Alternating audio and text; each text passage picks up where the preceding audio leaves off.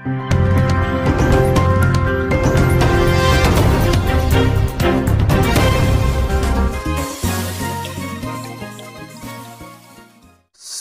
जनतेचा बुलंद आवाज.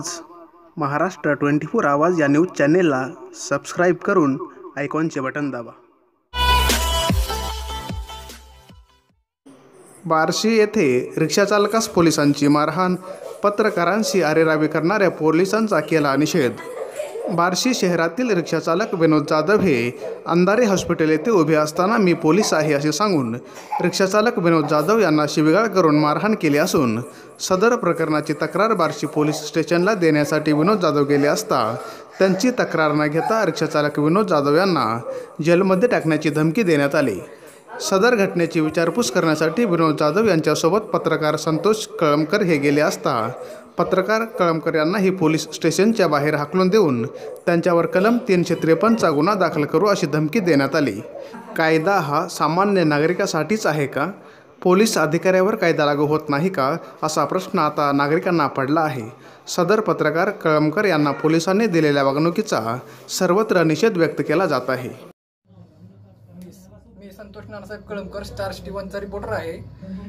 श्री विक्रम विनोद जाधव विनोद जाधव हा इसम माझ्यापाशी आला तेव्हा मी प- बार्शी पोलिशनला गेलो. माझी कंप्लीट घेत नाही म्हणून असं विनोद जाधवनं म्हटल्यानंतर मी बार्शी पोलिशनला गेलो होतो. तर तिथं आपले ठाणे अंमलदार घंटेसाहेब होते. घंटे जर एक जण जंगम या ना नावाचे पोलीस बसलेले होते पण त्या जंगम या नावाच्या पोलिसाने उद्धर भाषा वापरून तू इथनं जा नाहीतर तीनशे त्रेपन्न गुन्हा दाखल करील नाहीतर इथनं लाता घालून तुला बाहेर काढीन अशी उज्जर भाषा वापरली गेली. जर पत्रकार किंवा रिपोर्टरला जर असं कोण अशी बोलत असतील तरी सामान्य नागरिकांचा यात अ, काहीच फायदा नाही म्हणायचं मग सामान्य नागरिक अन्याय होईल असे ना. विनोद विक्रम जाधव रिक्षा चालक आहे. मला प्रेम कुमार केदार. प्रेम कुमार केदार.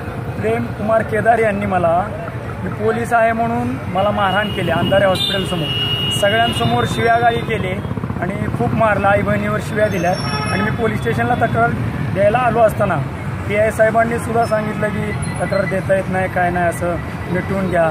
मी इथे तक्रार द्यायला आलो तर माझ्यासोबत जे रिपोर्टर आलेत संतोष कळमकर यांना सुद्धा बाहेर हाकलण्यात आलं की तुम्ही शासकीय कामात अडथळा केला म्हणून आपले जे ठाणे अंमलदार आहेत आणि त्यांच्या शेजारीचे कॉन्स्टेबल बसले त्यांचं नाव माहीत नाही की तुमच्यावर आम्ही फिर्याद दाखल करू. तर आम्हाला आमच्या साहेबांनी जसं सांगन तसं ऐकावं लागतं असं ठाणे अंमलदार आणि त्यांच्या कॉन्स्टेबलनी सांगितलं. आणि असा उद्धट प्रकार त्यांनी वर्दीवर नसताना आणि मी पोलीस आहे सांगून मला मारलंय विनाकारण. काही कारण नाही.